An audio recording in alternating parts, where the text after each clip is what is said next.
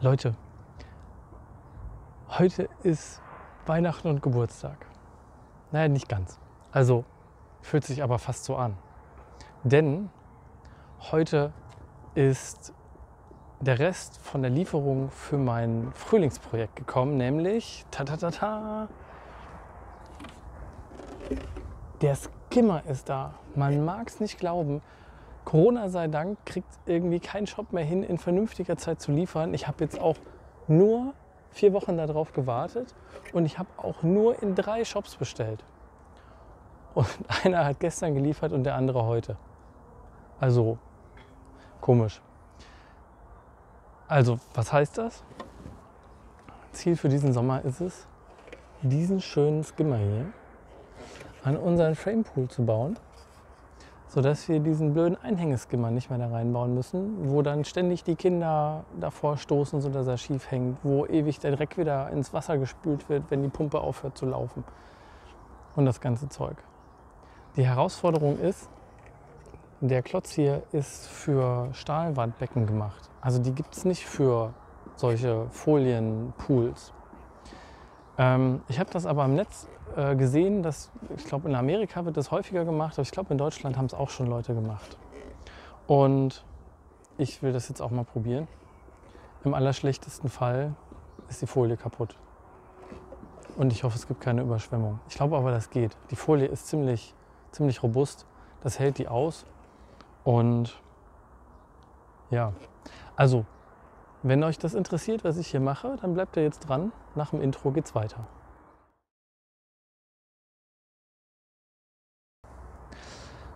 Ja, schön, dass du noch dabei bist. Ich bin der Micha vom Poolbauer Blog und hier in meinen Videos erzähle ich meine Erfahrungen mit dem Framepool, den wir hier im Garten stehen haben. Davor hatten wir so einen Quicker-Pool mit so einem Luftring oben drauf. Und äh, ja, ich versuche hier einfach zu zeigen, was ich für Sachen mache und meine Erfahrungen zu teilen. Ähm, falls du dich für so einen Pool auch interessierst oder vielleicht selber einen hast, dann ist vielleicht auch was Interessantes für dich dabei. Insofern bist du hier genau richtig. Ja, wie erwähnt, Projekt für diesen Sommer ist es, diesen Einbauskimmer an den Framepool zu kriegen, der natürlich eigentlich gar nicht dafür gedacht ist. Und ähm, ja, wie ich das alles mache und ob das alles funktioniert, seht ihr hier in diesem Video jetzt gerade. Ähm, ich denke, ich muss das halt so ein bisschen zusammenschnipseln, weil das auch nicht alles in einem Zug geht. Ähm, ja, meine Hauptsorge ist, dass einfach hier viel zu viel Gewicht auf der Folie ist. Guckt euch mal an, was das für ein Trümmer ist. Gerade wenn da hier noch voll Wasser steht, hier unten, ne? also so viel ist dann ungefähr Wasser da drin. Ähm, dann kriegt das Ganze ein Gewicht. Und äh, um das zu lösen, ist mein Plan, dass ich eben hier unten mit meiner Verrohrung, die ist ja, ich habe ja hier so hartes 50 mm Rohr, zeige ich euch gleich noch, ähm, dass ich damit wirklich bis auf die Erde runtergehe, dass das im Grunde genommen den Skimmer auch mit abstützt und diese ganze Aufhängung sozusagen spannungsfrei macht. Und ja, ähm, wir fangen mal an. Ich zeige euch jetzt mal hier das Teil. Also das hier ist die Öffnung. Dann gibt es hier so eine schöne Dichtung, die ist halt hier so eine Lippendichtung, damit normalerweise ja, kommt das so um die, um, den, um die Stahlwand drumherum, damit die auch nicht rostet. Das ist sozusagen die Außenseite. Von der Innenseite kommt dann hier so eine Blende davor. Müssen wir mal gucken, wie rum richtig rum ist. Wahrscheinlich war es jetzt genau falsch. Dann kommt hier so eine Blende davor. Da kommen dicke, schöne Schrauben durch. Also hier dazwischen in dem Schlitz, wo ich jetzt durchgucke, da ist halt dann meine Folie, hoffentlich. Und damit das Ganze dann auch hübsch ist am Ende, kommt halt hier nochmal so eine Verblendung drauf. So, jetzt sieht man es. Ne, warte, so, oder? Genau, falsch rum so. Und ihr seht hier schon, hier sieht man so ein bisschen drauf Min und Max und dazwischen sollte das Wasser sein. Und das ist aus meiner Sicht jetzt gerade das Hauptproblem, was wir haben werden, weil wir wollen ja möglichst viel Wasser in dem Pool drin haben. Also ich weiß nicht, wie ihr das macht, aber bei uns ist immer ziemlich, ziemlich voll. Ähm, schon alleine damit genug drin ist, was rausschwappen kann, wenn die Kinder reinspringen. Und, ja, war doch falsch rum, egal. Und äh, ja, je nachdem, wo ich das jetzt hinbaue, dann verliere ich ja massig Platz in meinem Pool, also Wassertiefe. Ähm, und das will ich nicht. Also ist das Ziel, das Ding so hoch wie möglich anzubringen. Aber dadurch, dass wir hier mit der Oberkante verschrauben, müssen wir auf jeden Fall unterhalb von der Stange bleiben. Und das wird die Herausforderung. Das gucken wir uns mal an. So, dann haben wir hier noch ein Exemplar, ein ganz schönes erwischt. Ähm, wie gesagt, ich habe jetzt zwei bekommen. Einen muss ich blöderweise zurückschicken dann. Das tut mir auch ein bisschen leid für die Shops. Also normalerweise mache ich sowas nicht. Ähm, aber das hat mir jetzt so lange gedauert. Deshalb musste ich da mal, naja, auf außergewöhnliche Maßnahmen zurückgreifen. Ähm, der hier hat halt hier innen drinnen noch so einen Korb und netterweise kann man den hier, also der hat so ein nettes Henkelchen auch, den kann man ganz gut packen. Und ähm, der wird eben hier drin verschraubt. Mal gucken, so blind geht das gar nicht so gut. Genau, so rum. Zack. So. Das heißt, wenn die, wenn die Pumpe ausgeht, schwimmt dieser Korb auch nicht hoch. Das finde ich schon mal mega. Hier guckt, so sieht es aus von drin. Fantastisch. Dann gibt es dazu noch einen Deckel, logischerweise, damit das auch hübsch aussieht. Finde ich ganz gut. Da kann man dann vielleicht auch mal eine Schwimmbrille oder irgendwas drauflegen, was halt sonst ja nicht so einfach geht. Und hier vorne ist dann noch eine Klappe drin. Die Sachen habe ich jetzt alle noch nicht hier, weil die brauche ich erst, wenn es drin ist und irgendwie funktioniert, also so aussieht, als würde es funktionieren. Und was ich auch mega cool finde, hier gibt es dann so eine Saugerplatte, die ist halt genau, hat halt genau hier diesen Durchmesser. Da kann ich den Schlauch für den Sauger anschließen und kann das ähm, einfach hier reinstecken von draußen. Das heißt, ich mache mir noch nicht mal die Hände nass und äh, kann dann in Ruhe den Pool aussaugen. Und das finde ich echt super, weil sonst kennt ihr das ja von den Frame Pools. Die, der Ansaugstutzen ist ja da unten, also so eine, sagen wir mal, so eine knappe Armlänge. Ne? Also hier so T-Shirt wird nass, wenn er da reingeht. Ähm, und je nachdem, wie kalt das Wasser ist, ist das auch nicht so ganz lustig. Dann musst du diese komische, dieses komische Gitter abschrauben, dann musst du den, den Stutzen für den Schlauch da drauf fummeln ähm, und so weiter und so fort. Ja. Die Kids haben ihren Spaß. Die freuen sich schon auf den Pool. Ja, ähm, ja, was gibt es noch zu erzählen? Also hier, der hat hier unten eineinhalb Zoll Gewinde. Das heißt, hier kann man eben schön mit einer Verschraubung dran und die, dann diese 50 mm Rohre reinkleben. Ähm, es gibt aber auch so Stutzen, die zeige ich euch auch später nochmal, die genau hier reinpassen. Die sind standardmäßig dabei für 32er und 38er Schläuche. Also theoretisch könnt ihr das sogar mit jeder Puppelfilteranlage ähm, benutzen, auch wenn ihr noch 32er Schläuche habt. Zugegebenermaßen weiß ich aber nicht, ob die dann genug zieht, damit sich hier so ein Skimmer halt überhaupt lohnt. So, so viel dazu. Ähm, ich packe jetzt mal den Pool aus und dann gucken wir uns den ganzen Scherz mal an, wie wir da so zur Rande kommen.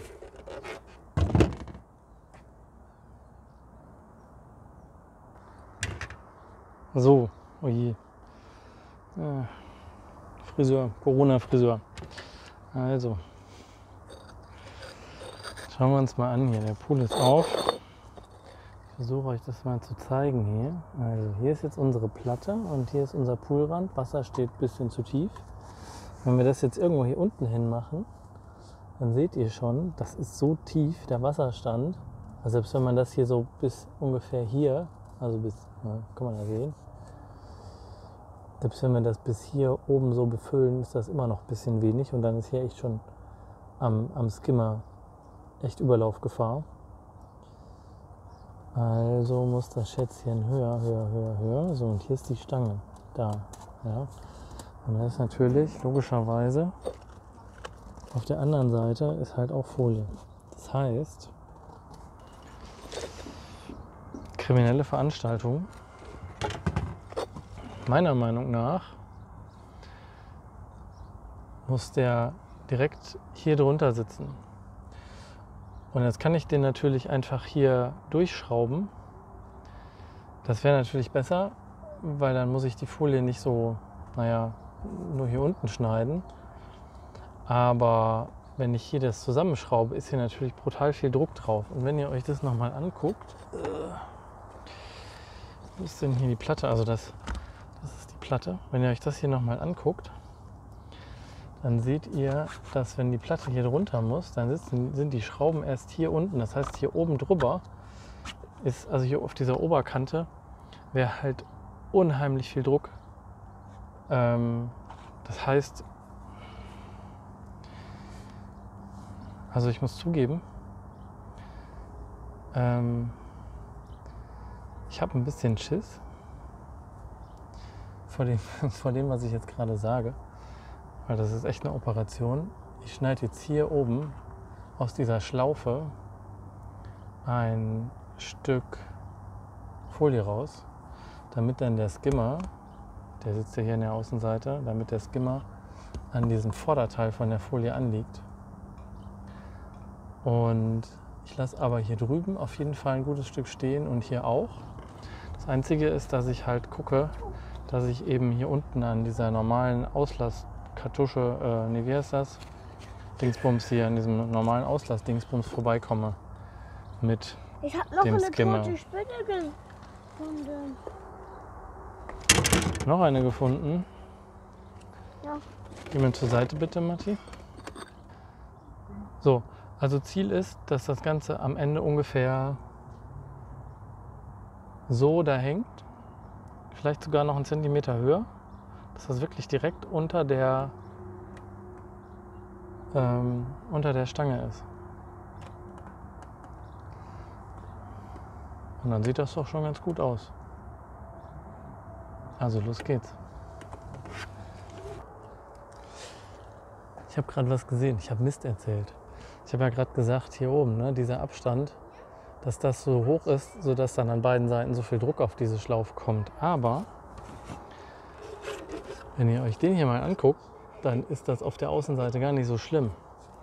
Das heißt, wir können sogar noch, noch höher gehen, weil das ja dann nur von einer Seite von einer Seite den Druck hier macht und der andere, von der anderen Seite ist das hier direkt äh, miteinander verschraubt. Und zugegebenermaßen, das Ding hier ist auch echt stabil. Soll ich das erstmal ohne probieren? Erstmal ohne die andere Seite abzuschneiden? Ich probiere das erstmal. Oder? Ja.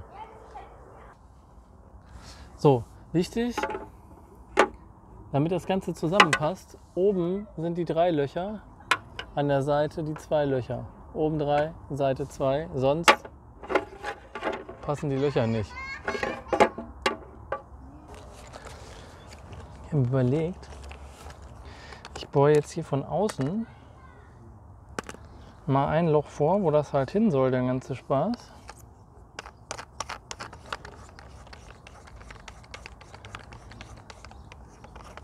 Und dann drehe ich da direkt eine Schraube durch. Und dann weiß ich auch, wo die anderen, wo die anderen Löcher alle hin müssen. Und ähm, da ich ja weiß, dass mein Pool Bomben gerade steht, kann ich mich natürlich auch extrem gut an der Stange hier oben orientieren, weil die ist natürlich dann auch gerade. Okay.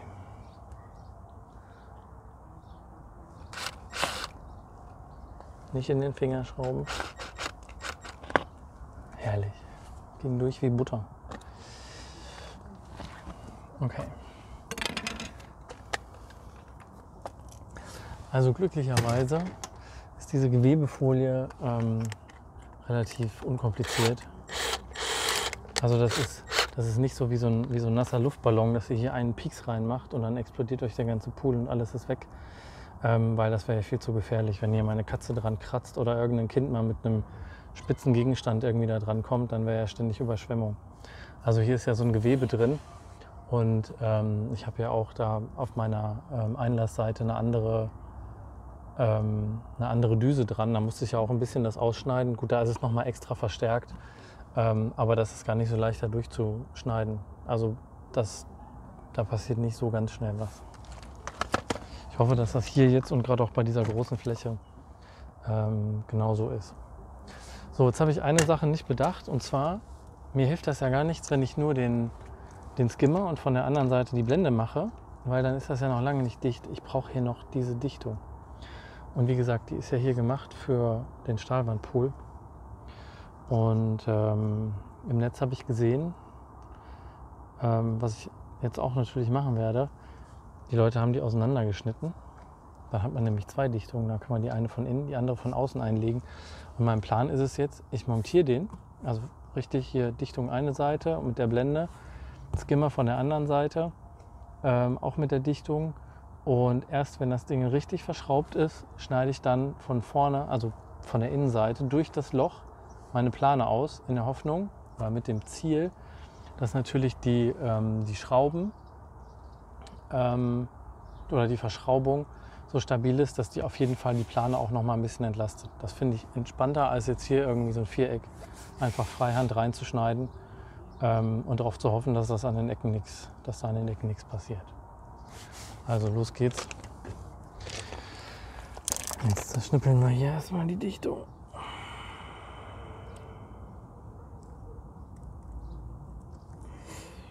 Ach so, was natürlich hilft, ist ein scharfes Cutter.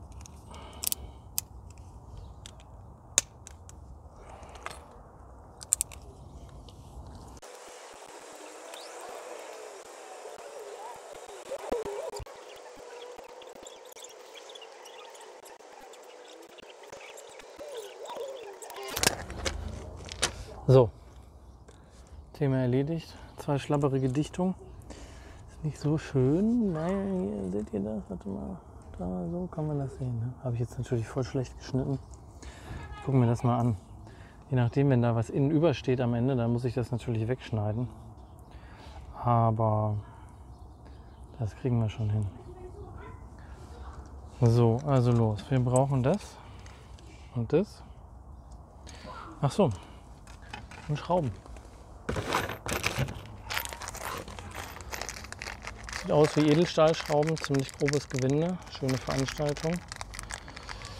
Alles mit dabei.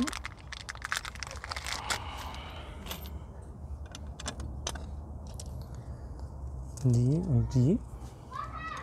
So ja, Schraube, Abdeckplatte, Dichtung, Poolfolie, Dichtung, Skimmer. Schauen wir mal.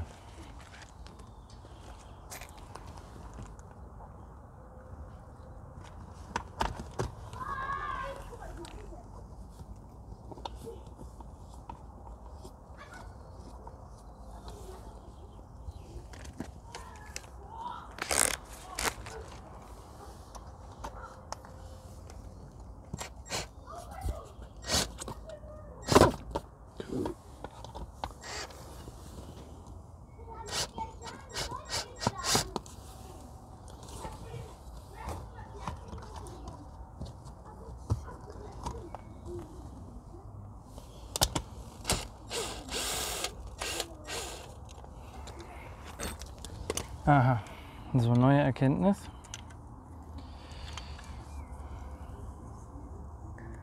Fällt euch was auf? Dichtung, Dichtung. Keine Dichtung. Also die muss auch richtig rum und dann passt das.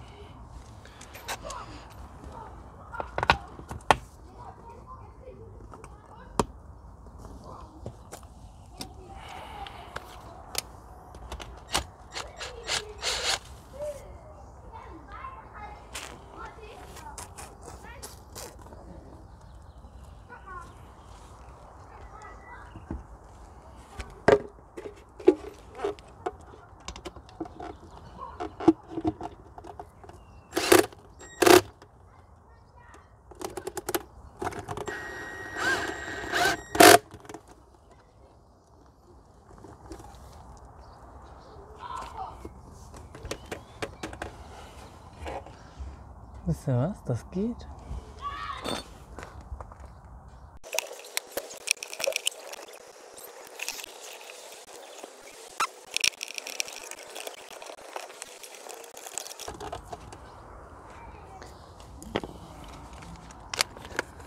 Das sieht ganz gut aus. Ich baue jetzt noch mal ein paar Löcher schnell vor und dann zeige ich euch das von innen.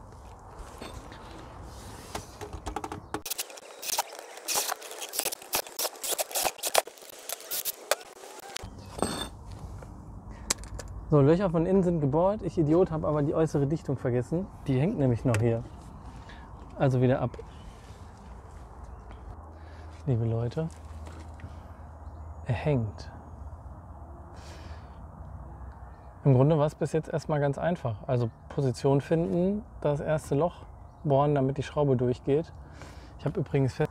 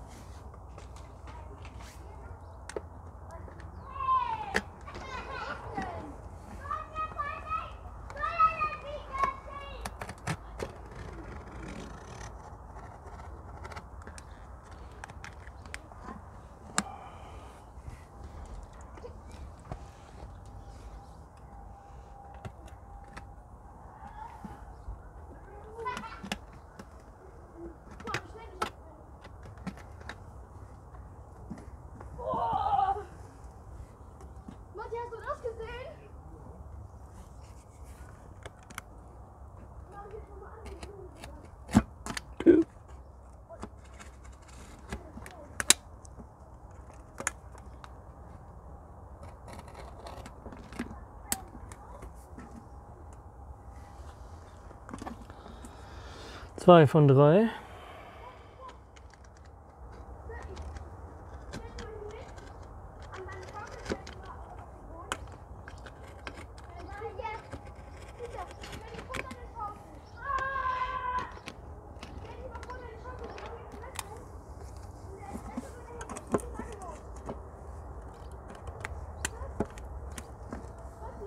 Tata.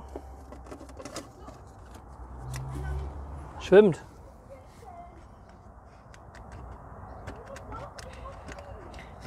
Der Hinterkopf ist ja ganz nett, aber so kann man nichts mehr sehen. Ja.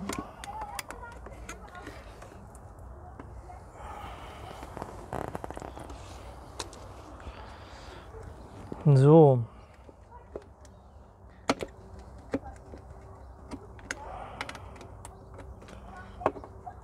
Wie finden wir das?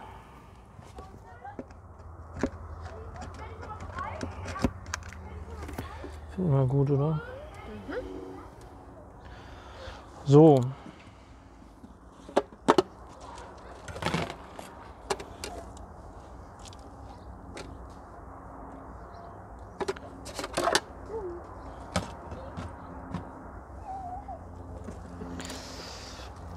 Ja, das ist schon mal ganz gut.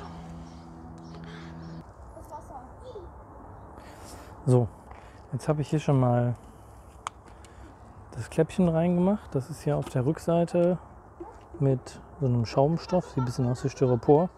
Und das wird dann natürlich am Ende auf dem Wasserspiegel aufschwimmen, sodass halt einfach immer genau über die Klappe ähm, die richtige Wassermenge rüberfließt. Ich gucke mal, ob ich euch das so zeigen kann. Hier so. Ja, das schwimmt dann hier so schön auf. So. Nett. Jetzt fehlt noch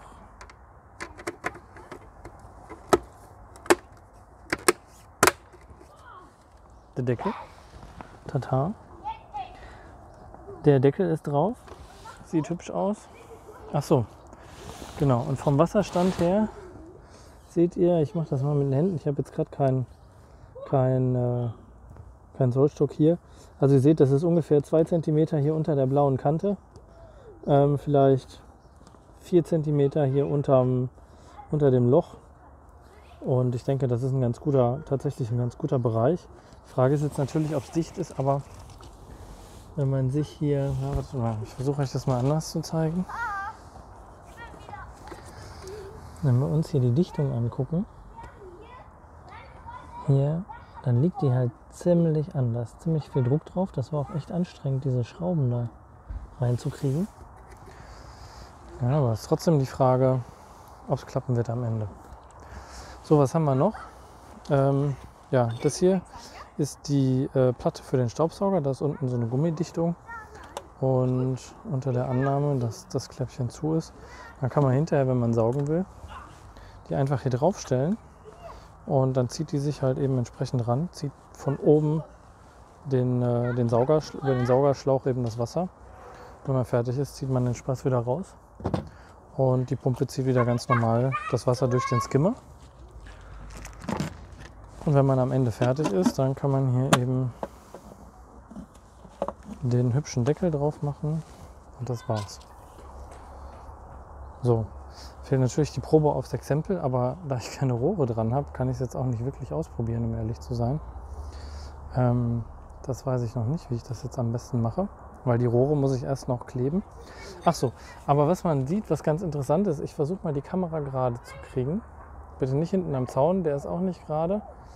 Ähm, wenn das Bild jetzt senkrecht ist, dann seht ihr, dass der Skimmer einfach aufgrund der Neigung von der Folie, also die wird ja nach oben so ein bisschen rund und deshalb steht er so ein bisschen hoch. Und jetzt ist halt die Frage, wie verhält er sich, wenn da Wasser drin ist? Wie weit zieht es den noch runter? Aber so viel wird es nicht sein, weil dann, da ist ja auch noch Wasserdruck von innen. Ja, also so viel Bewegung ist da jetzt nicht.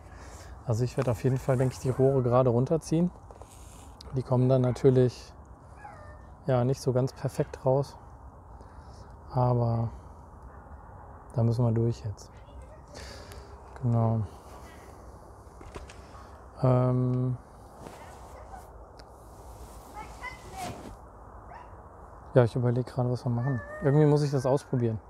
Also was ich jetzt erstmal als nächstes mache, denn netterweise kommt hier mit, der, äh, mit dem Skimmer auch noch eine neue Düse. Das ist lustigerweise genau die gleiche, wie ich schon ähm, verbaut habe hier. Ich zeige es euch mal. Ähm, die ist halt ganz schön, weil da kann man hier eben den, den Auslass verstellen, sodass man da eben eine schöne Rotation hinkriegt. Und das Einzige ist, dass hier die Dichtungen, glaube ich, durch sind. Also was ich jetzt mache, ist, ich schmeiße jetzt die Tauchpumpe hier rein und ziehe mal ein bisschen Wasser aus dem Pool. Dann äh, erneuere ich noch die neue Düse.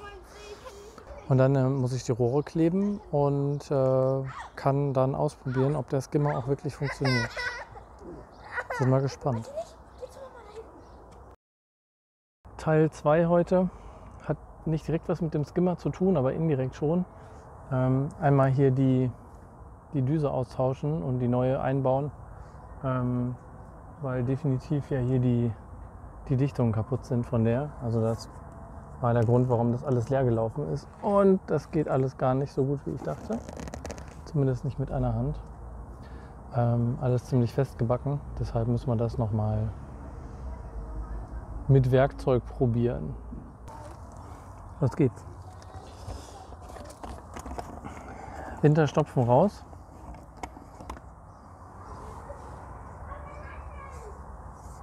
Alles gut. Und Gewinde ab.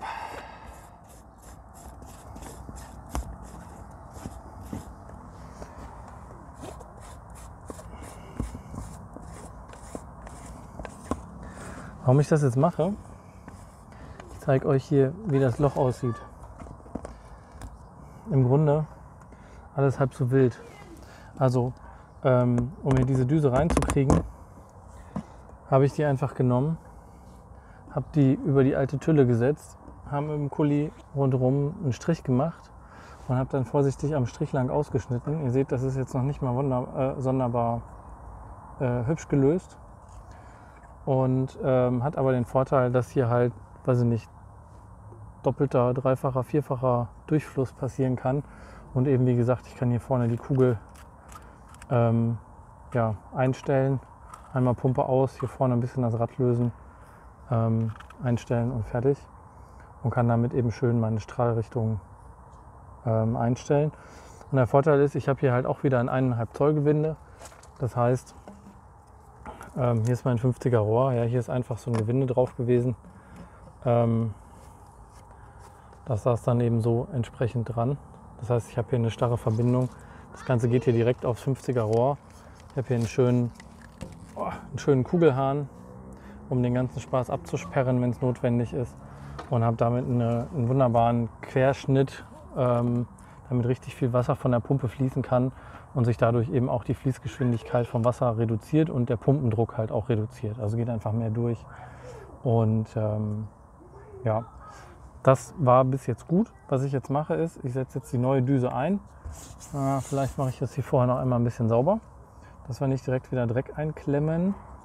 Und ähm, was ich dann mache, oder das Problem, was ich hatte, ist, dass hier blöderweise eine, eine starre Verklebung dran hatte, ähm, was dann dazu geführt hat, dass immer, wenn hier mal ein Kind davor gelaufen ist und ein bisschen Bewegung reingekommen ist, hier oben das Gewinde sozusagen undicht geworden ist. Und jetzt baue ich hier, jetzt mache ich das anders. Ich weiß noch nicht, irgendwie habe ich Teile bestellt, irgendwas habe ich mir äh, gedacht. Achso, und was ich noch mache, ich habe hier diesen schönen großen Bogen. Der ist gut, hat aber den Effekt, dass dann ziemlich viel Last nach hinten zieht, also ziemlich große Hebelwirkung ist was halt auch jetzt für die Folie und äh, so weiter eben auch nicht gut war. Also hier war immer viel Bewegung und viel Spannung drauf. Jetzt gehe ich direkt mit dem 90-Grad-Bogen sehr gerade runter und will dann eben auch nochmal die Rohre unten abstützen, sodass das möglichst gut eben entlastet ist. Ich muss mal eben sauber machen. Hier ist die neue Düse. Einmal Vergleich. Neu gegen alt. So drei Jahre später. Ähm, hier sieht man auch schön, die war vorher auch mal weiß.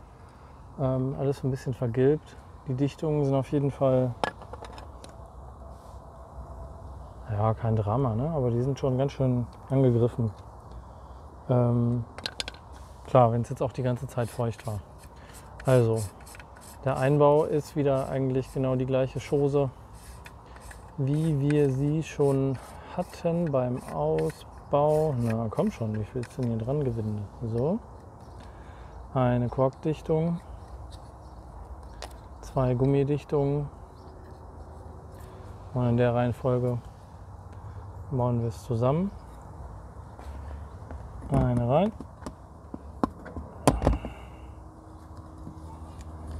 Gummidichtung, Korkdichtung.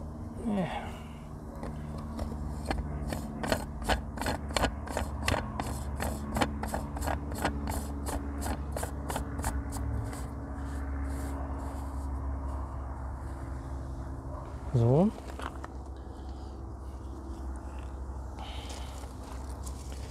Genau.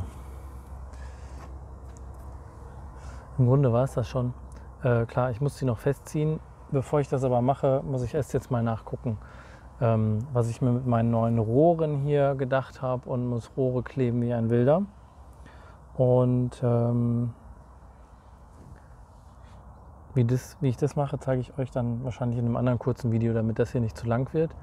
Ähm, hier in dem Video machen wir weiter, wenn ich die Rohre soweit fertig habe und wir das Wasser einlassen. Oder ja, mehr Wasser reinlassen, sagen wir es mal so. Also bis später.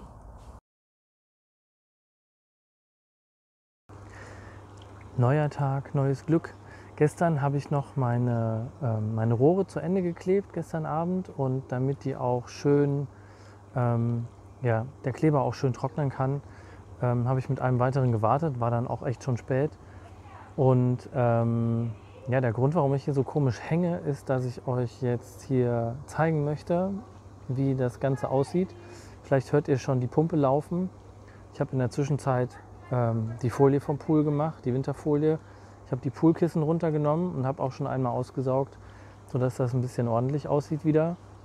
Ähm, an der Stelle auch Poolkissen kann ich echt empfehlen. Luft rausmachen hinterher ist blöd.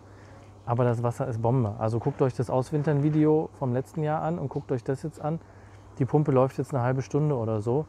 Ähm, ich muss jetzt noch eine Schockkloring machen, aber ich zeige euch das jetzt. Und dann zeige ich euch, wie der Skimmer und die neue Düse aussehen.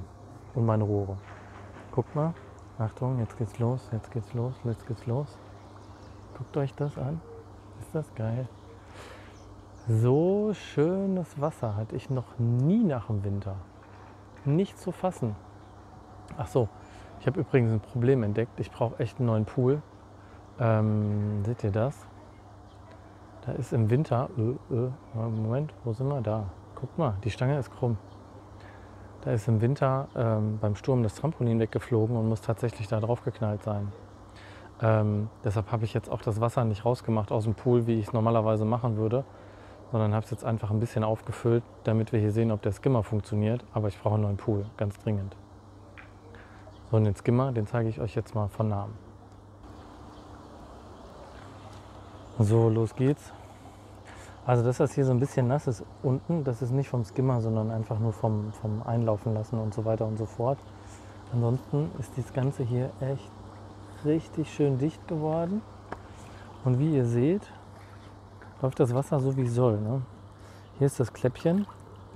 Das schwimmt halt immer automatisch auf und zieht halt schön das Wasser runter. Im, im Skimmer drin ist der Korb unten. Ich glaube, da brauche ich nochmal so einen Feinfilter, den ich da reinmachen kann. Und von außen sieht das Ganze dann so aus. Ist das schön? Ich versuche es nochmal anders. Ich kann es gerade nicht so filmen.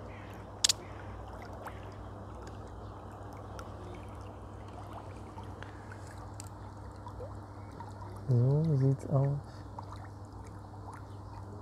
Von der Seite. Also echt eine feine Sache. Wir gucken nochmal von der anderen Seite. Okay, mein Rost. So, neuer Pool ist eh fällig, wie gesagt. Alles super, alles dicht. Das liegt richtig gut an. Also man sieht hier, das hat der Skimmer hat hier das jetzt richtig rangezogen, oben die Folie, aber ich glaube, das macht nichts. Das sollte man vielleicht nicht zu straff machen, also schon mit einplanen, dass da noch Material benötigt wird beim Löcherbohren. Aber ansonsten ist das echt astrein. Sieht super aus. So, was habe ich noch gemacht? Ihr seht hier unten direkt das Rohr. Ich gehe mal noch mal ein Stück hier rum an der Seite. Ich habe hier halt mein 50er Rohr verklebt und habe das direkt so gemacht, dass das unten aufsteht. Damit habe ich direkt die Stütze für den Skimmer, also auch nochmal wieder Last von der Folie genommen. Aber wenn ich hier dran rappel am Pool, dann sieht man, das bewegt sich so ein bisschen mit, aber es ist gar nicht dramatisch. Stütze ich nochmal ab mit, einer Gummi, mit so einem Gummiplättchen drunter, dann ist alles super. Hier die alte Schlauchtulle, mit der muss ich mir noch was überlegen. Also hier nicht mehr bei dem Pool, aber ich hätte hier sonst irgendwie ein Stück Schlauch einfach drauf gemacht und mit einem, mit einem Kabelbinder dann abgeklemmt. Dann kann ich auch innen den Stopfen raustun. Da passiert nichts mit. Und die neue Düse hat natürlich auch direkt einen neuen Schlauch gekriegt, äh, neues Rohr gekriegt. Und das habe ich jetzt auch so gemacht, dass das unten aufsteht, sodass da eben auch nochmal wieder die Last runter ist. Und hier eben auch kein, kein Druck nach unten mehr passiert oder äh, ja, drauf kommt. Und dann zeige ich euch die auch nochmal. Die sieht halt so aus. Ne? Und ich weiß nicht, ob man sieht. Sieht man hier so ein bisschen Dreck? Habe ich zu gut gesaugt. Kommt hier noch eine Spinne vorbei. So, ich halte mal still. Ihr seht, hier ist eine wunderbare Rotation drin. Dass das hier oben noch so plätschert, kann man noch umstellen, indem man halt einfach diese Kugel in der Düse vielleicht noch ein bisschen nach unten stellt. Und dann ist das Bombe. Und das Geilste ist, diese Druckplatte hier für den Sauger. Die kommt nämlich einfach hier rein. Da muss man, okay, ist ein bisschen doof mit einer Hand. Wie geht das denn mit einer Hand? Das geht nicht mit einer Hand.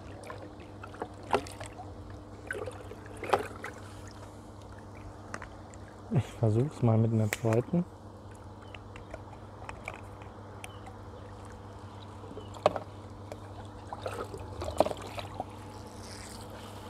Zack, Druckplatte drauf. Ich habe jetzt zugesehen, dass der, der, der Saugschlauch möglichst viel Wasser schon drin hat, damit die Pumpe halt auch möglichst wenig äh, Luft ziehen muss. Und wir sehen jetzt hier am Kläppchen, das schwimmt oben auf, da kommt kein Wasser mehr drüber, also er nimmt jetzt das Wasser aus dem Sauger. Und ähm, ich muss ehrlich sagen, äh, der saugt tatsächlich besser, als er vorher über diesen Stopfen da unten, der da ursprünglich mal drin war, gesaugt hat einwandfreie Sache. Echt total cool. So, wenn man fertig ist mit Saugen, dann nimmt man den hier wieder raus. Also wahrscheinlich muss man das machen ohne Pumpe oder so. Ich weiß es nicht. Ja, guck mal. Die zieht so fest, das kriegt man nicht raus. Also, was müssen wir machen? Normalerweise ist hier noch unser schöner Deckel. Den machen wir gleich auch noch drauf.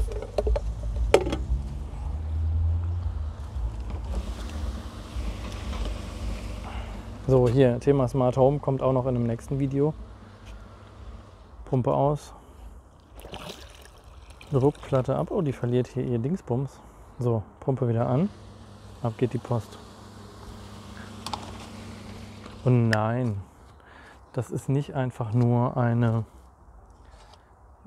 nicht einfach nur eine ganz normale 433 MHz Funksteckdose, sondern da ist Smart Home dahinter. Okay, falls irgendjemand weiß, wie man diese Dichtung hier festkriegt, bitte einmal bei mir melden oder in die Kommentare schreiben. Die will nämlich gerne mal rausgehen, habe ich gerade schon gemerkt.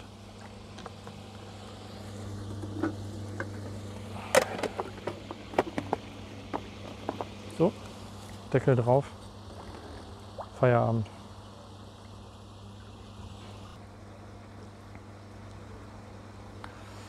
Ja, also was kann man sagen? Mit dem Skimmer ist eine gute Idee. Also wie gesagt, wir brauchen einen neuen Pool ganz dringend. Das können wir so nicht mehr benutzen, das Ding mit der krummen Stange. Aber ähm, ich werde auf jeden Fall diesen Skimmer in den neuen Pool auch wieder einbauen. Das tut einem ein bisschen weh, da an dieser Folie rumzuritzen. Aber das ist tatsächlich eine echt stabile Veranstaltung. Also da gibt es überhaupt keinen Grund dran zu zweifeln, warum das Ding nicht halten sollte. Ähm, da drüben die Düse auch, die habe ich seit ein paar Jahren, ich glaube seit zwei Jahren oder so habe ich die schon so. Oder beziehungsweise ich habe die schon zwei Sommer so benutzt. Ähm, mit so einem etwas größeren Düsenloch und das geht richtig gut. Das ist total cool und für die Kleinen ist das schon fast wie so eine Gegenstromanlage. Naja, nicht wirklich, aber so ein bisschen. Ja, wenn ihr irgendwelche Fragen habt, dann schreibt sie unten in die Kommentare. Ansonsten freue ich mich, wenn ihr mir einen Daumen hoch da lasst oder vielleicht meinen Kanal abonniert. Wie, gesagt, als nächstes kommt noch das Thema Pumpenstromverbrauch für ein Jahr und außerdem ähm, das Thema Smart Home, äh, beziehungsweise ja, Pumpe automatisieren mit unserem Smart Home System. Die Fernbedienung habt ihr gerade schon gesehen. Das ist nur ein Teil. Ding ersetzt die komplette Zeitschaltuhr. Ähm, ich kann es übers Handy steuern und zwar sowohl über, eine Web, äh, über ein Webinterface als auch über die App Telegram, so eine Messenger-App. Da kann ich eben auch mit dem Haus reden und unter anderem eben auch mit der Pumpe. Und das gleiche gilt fürs, fürs, ähm, fürs Licht natürlich auch. Aber das zeige ich euch in einem anderen Video. Also abonniert den Kanal und macht noch einen Klick auf das Glöckchen, dann werdet ihr benachrichtigt, wenn meine Videos fertig sind. Und ansonsten wünsche ich euch einen schönen Sommer. Vielleicht habt ihr auch Lust, euch so einen Skimmer einzubauen. Ähm, ihr habt gesehen, das war gar nicht schwierig, auch mit den Rohren unten, das war gar nicht schwierig. Und ich bin raus für heute. Macht's gut.